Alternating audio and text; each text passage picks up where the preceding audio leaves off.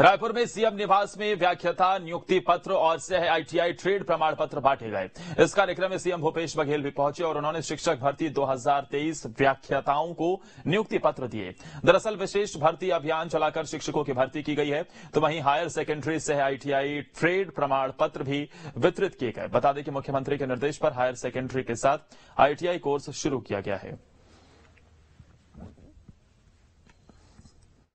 अभी तक के हमारी सरकार ने लगभग सत्ताईस हज़ार शिक्षकों की भर्ती की है। और जैसा कि शुक्ला जी ने बताया, कोरोना काल के कारण से उस समय पहले में थोड़ा विलंब हुआ, लेकिन अभी तत्काल ये नियुक्ति पत्र आज शुरुआत हुई है, फिर अभी क्रम चलेगा।